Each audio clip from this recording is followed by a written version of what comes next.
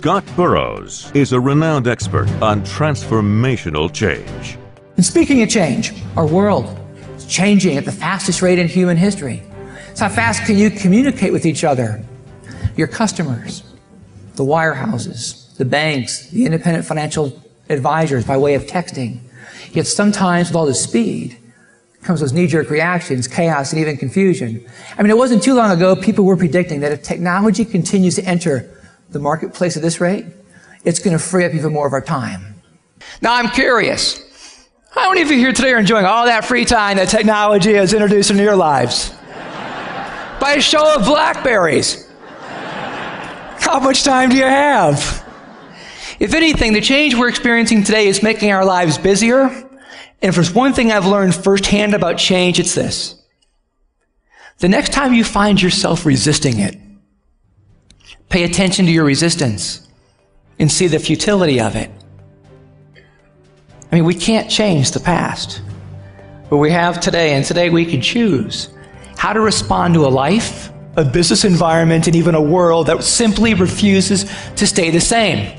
As an internationally recognized motivational speaker, successful business entrepreneur, and author, companies hire Scott to kick off their conferences, to inspire their organizations to thrive, beat the odds, and achieve extraordinary results regardless of circumstances. He uses his own experience in persevering through tremendous adversity to deliver a powerful message on focus, clarity, and goal setting. That experience, along with his business intelligence, can help your team turn the odds in favor of success in business and in life. Scott has already helped transform the mindsets of associations and world class organizations such as GE, Target, John Hancock, and Eli Lilly. In fact, after their conference, GE wrote, What really confirmed that you were the right choice for this meeting was your ability to take the information you gathered in our pre conference call and weave it seamlessly into your message. You have incorporated more of us into your message and delivered the message to us more than any other speaker has ever done for us. I just came out of hearing Scott Burrows and um, I got to catch my breath because it was so powerful. And you constantly show the implementation of, of ways to continue to get into action. When Scott entered college, he envisioned becoming a world class athlete. He played college football at Florida State University and was a top ranked kickboxing champion, having his last fight broadcast by ESPN.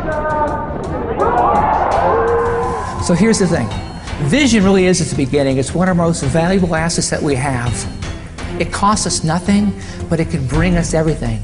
So when you get home tonight, give your vision life and give it depth. Be willing to see complete success in your mind's eye first, and then imprint that success. Imprint it over and over, and do it so frequently that your mind can no longer tell the difference between your heavily etched idea and what's real. Right after celebrating that kickboxing victory, Scott's life changed dramatically after a serious automobile accident as a passenger left him paralyzed from the chest down and diagnosed a quadriplegic. What is mindset? It's what you do with what you can control. I mean, we all have circumstances in our lives, right, that we wish we could change, small or large, and there's things you wish you know you could change. So, my question is, what are you going to do about it, and what can you do about it? You can choose how you look at it, you can choose how you interpret it, and you can choose how you react to it. That's mindset. Your mindset will change your outcome, or your mindset will help you stay stuck and perhaps confined well within your comfort zones. Now, someone who inspired me with her mindset, her insights, was the actress Helen Hunt. And she was in a movie with Jack Nicholson, As Good as It Gets, and she won an Oscar for her performance. Now, afterwards, she was interviewed. They go, Now that you've won, the Oscar, Helen. You must be getting a lot of different types of movie scripts. My question is, how will you go about choosing which one best suits you? And she said, I'll go with what scares me. I mean, think about that for a moment. Go with what scares me. What kind of mindset do you need to be in to go with what scares you? After being diagnosed a quadriplegic, Scott refused to be sidelined. It was then that he realized in order to survive, he was going to have to change his mindset and develop the grit to keep him off the sidelines and in the game of life. And it was during this time that I made the decision, okay, that I was willing to fail, but I was unwilling to quit. That's the mindset I took on. The same one that you can capitalize on to increase your own effectiveness in all areas of your lives by focusing on your families, by focusing on yourself and your work here at Valak. But here's the thing as you're going through these processes, it's pretty important to keep your visions clear and always in the forefront of your thinking. Because here's what I've learned you can have the most thought provoking vision as wholesalers, and the mindset of a world champion is an organization. But neither of those two areas will work real effectively together unless you are willing to push yourselves that extra one eighth of an inch. And that's what I mean when I use the word grit.